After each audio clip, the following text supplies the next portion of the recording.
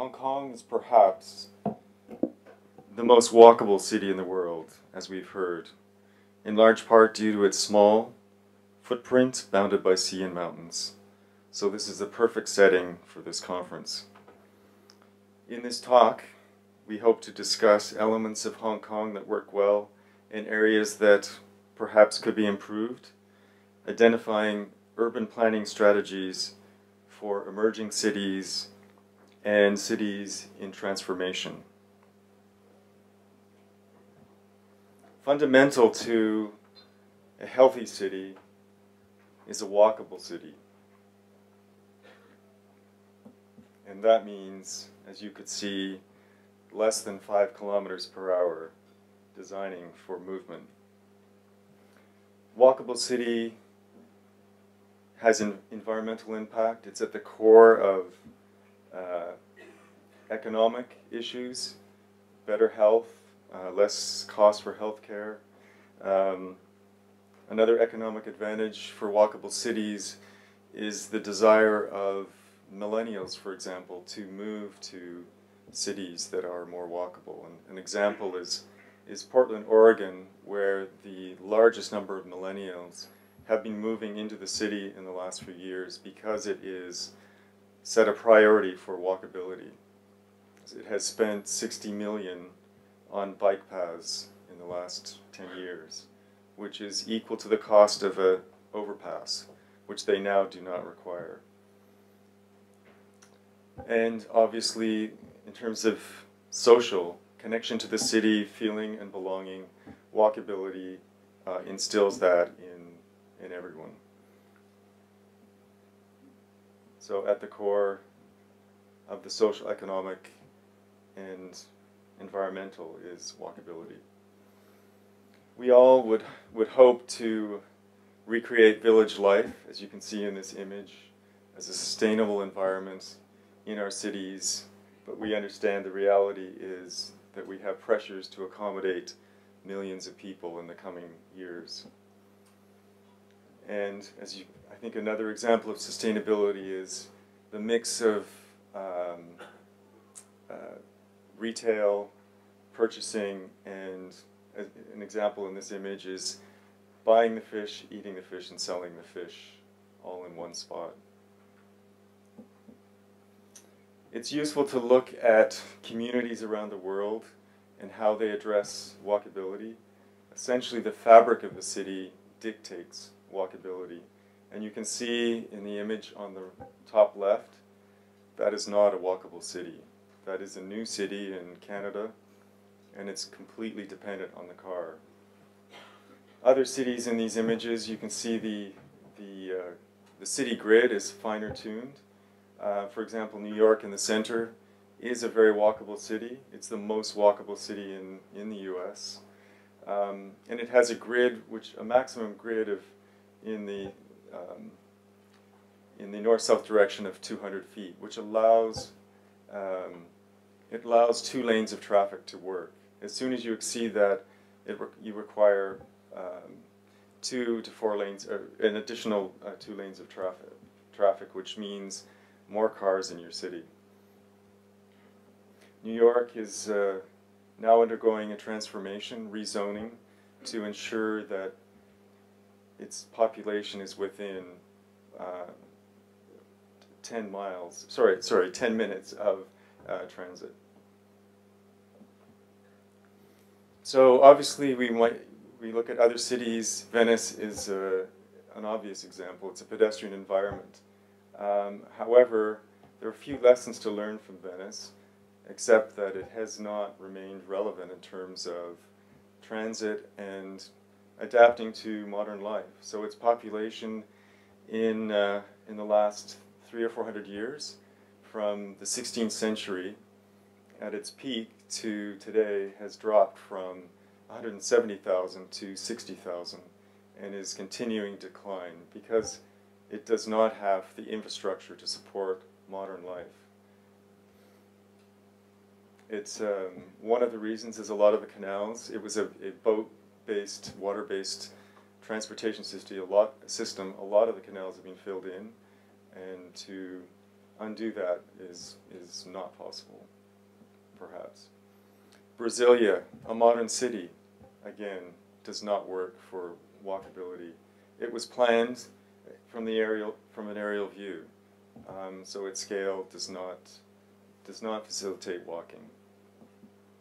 And New York, as we just talked, um, has an infrastructure of streets and park systems, especially with the new High Line and Low Line, that provide um, pedestrian circulation through the city um, and mobility. So we come to Hong Kong, which, as we said, is perhaps the most walkable city in the world.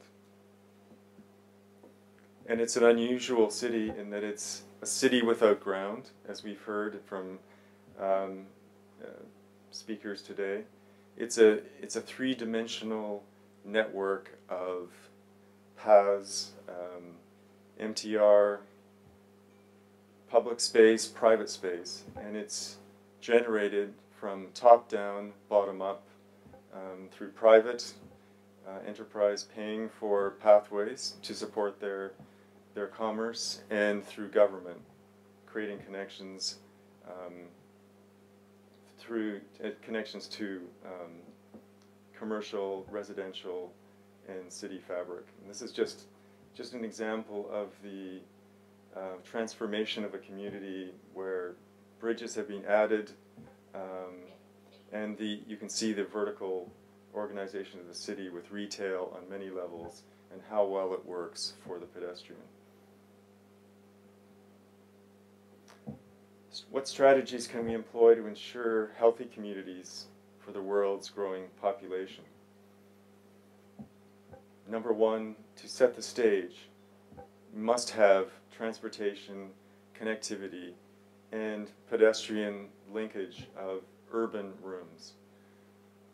Add to that order, rhythm, variety, and a mixed demographic, demographics, which all is possible through Walkable City.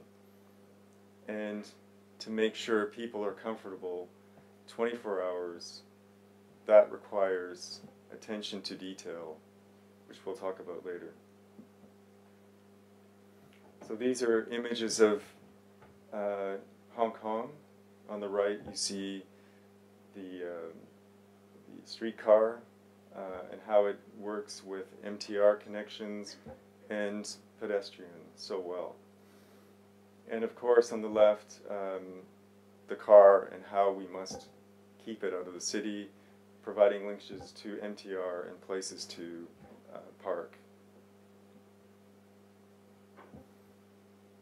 The next typology of public space um, are pathways and squares. And I think the square is one of the most interesting public spaces, a place where people gather, connect, and uh, engage in public discourse.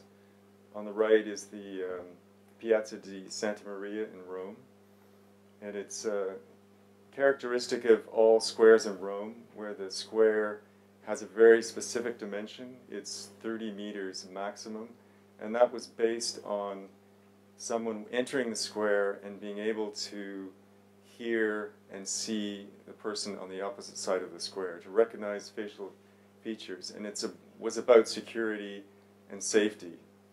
Uh, and that is still a model for the ideal urban room, which we'd like to see more of in Hong Kong.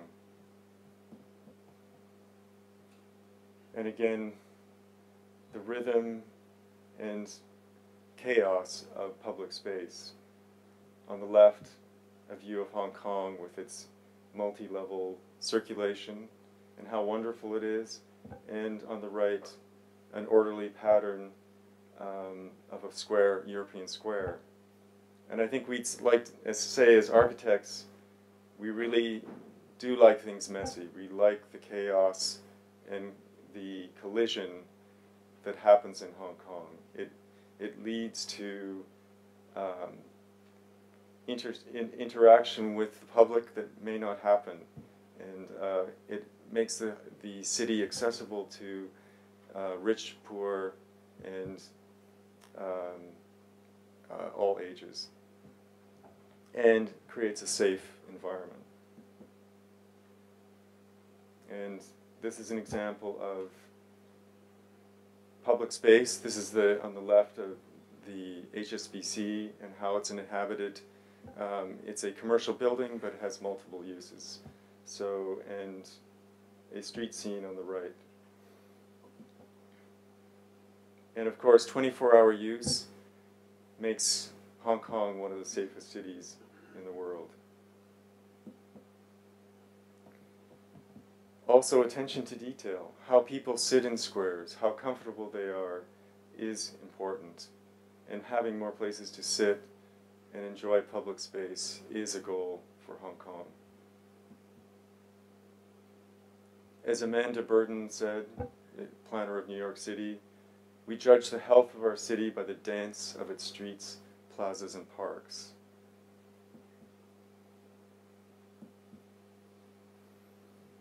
So this is one of uh, one of our projects, um, the West Kowloon Cultural District. Um, we won a competition uh, in 2012 to design the gateway to the West Kowloon. Um, West Kowloon is a new cultural district, for those that do not know, and it's it's one of the most prominent sites in Hong Kong. It's going to be an entirely pedestrian environment with an infrastructure below linking parking, uh, transit, and uh, uh, service vehicles. And as well, it's, uh, it has uh, the high-speed train that provides a catchment area of 30 million people to this site. So it's well connected to the city. Um, so the building our building is right at the, the corner of the site. Um, so it's right here. And this is a pedestrian avenue that links M Plus and arts facilities, which eventually will include opera houses and theaters and residential and a large waterfront park.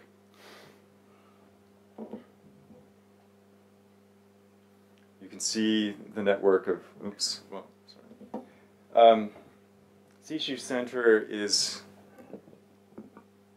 the program is to house the ancient art form, performing art form of the Xiqu, which is a um, indigenous um, UNESCO art form.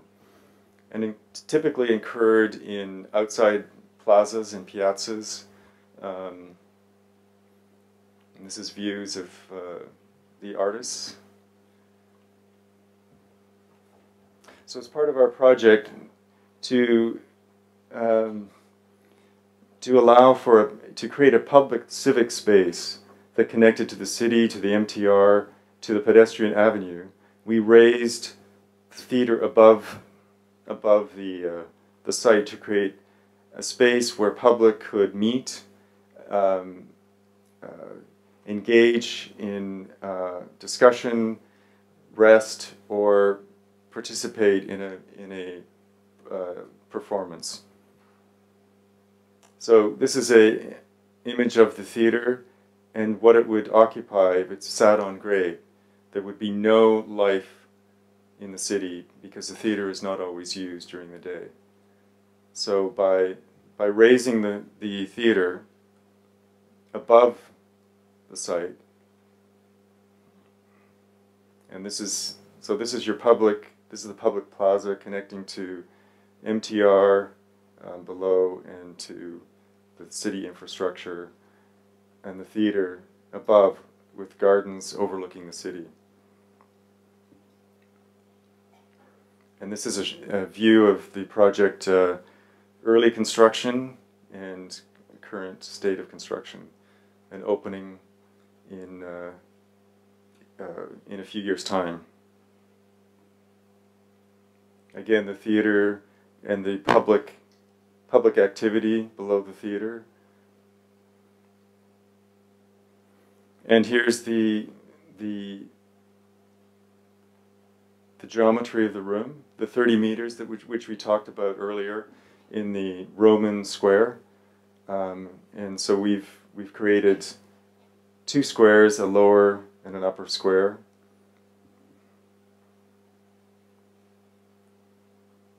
And a further diagram showing the theater and the public square. So there are two levels, two levels of uh, retail and an education center that overlook this public space. So this is a room for the city. It's uh, open to the um, the elements, but protected at the same time. Um, it's semi semi enclosed. It's a place where people can come to to gather, um, whether for whether for performances or just to relax. And this is the a view of the High Line in New York, which is extremely, I think, as we all know, popular um, uh, new addition to the city. This is a view of the plaza and how we see it'll be used. It could be used for exhibits, performances, and again, just to um, relax and find a place to sit in the city. And this is the, the exterior of the building uh, as it will be. This is a project in Edmonton. Um, it's a it's a arts facility, and it's uh, uh, it consists of a theater and um, lecture halls and uh, workshops, and this uh, the organization of the public space was very important to us, and and really we're using principles that one would use in the city in terms of creating uh, collisions, focal point, and exchange. So we really we looked at the public space, which is this diagram, and how it could be organized to encourage the users of the building to interact and to create a dialogue between performing arts, music, uh, wig making, and um, and research.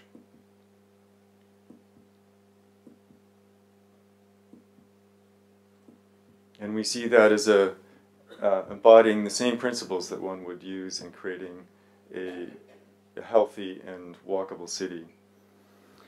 Uh, this is the uh, Aquatic Center in, in Vancouver. And in this project, which is uh, a community center and swimming pool um, for a new community, largely a migrant or immigrant community, where there is a, a need for a focus. And in this uh, in this project, we uh, we created a link from the transportation node through to the city center, um, through the through the um, the swimming pool and uh, community center so that the public move throughout the day along this walkway. And it's, it's open, it's open uh, throughout the day and evening to the public without um, entering the pool. So again, it's about integrating uses and mixing uses in a city to create this uh, sense of community and belonging. This is a college in Fort Worth. Um, when we started this project, we uh, talked to the people of Fort Worth, and we, you know, we asked them, "Where is your Where is your river?" and and we found that people didn't know where it was in the city. It was largely ignored. It was a place for the prison and place to um, place refu- um, garbage, and um, we used our project again just as one might do in Hong Kong, to create a link to the water through the, the creation of um, urban, urban uh, street, and eventually a connection across the river in a, a future phase. So this is the this is the urban space that we talk about, the street, and of course water is an important element of all public space which we'd love to see more of in Hong Kong and around the world.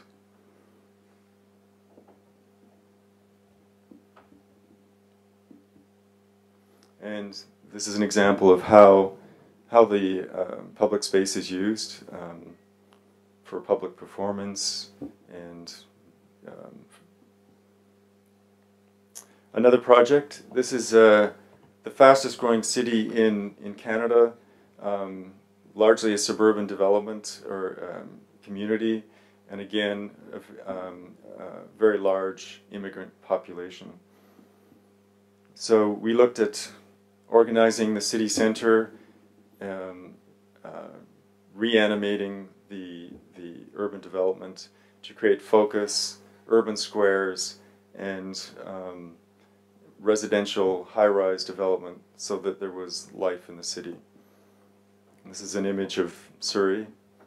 And this is the, um, we created a city center. This was a shopping mall and we placed on top of the shopping mall, by breaking it open, we placed a, a new campus for the FS, SFU. Um, and this is a library that we built in the um, public square and future buildings to come to create the city center.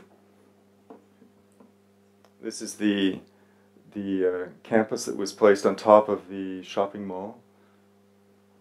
And again, it's a mix, mixing uses that create a successful uh, urban environment. And this is the library. And again, it's a public room. It's really about, I think in our work, creating uh, public space, rooms within the city, whether they're exterior or interior. So as you can see, the, the organization of the building, it faces onto the square and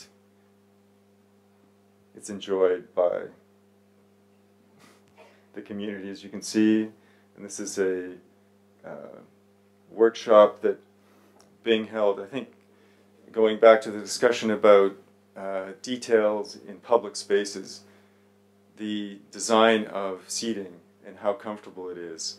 And in this workshop, we had um, children design furniture for the library. So this is uh, various um, mock-ups of furniture and all of these, well, we selected a handful of uh, students' work, children's work, and they became, they were, became part of the furniture of the, the library. So in an urban space, the detailing of, of the urban fabric at a micro scale is, is very important.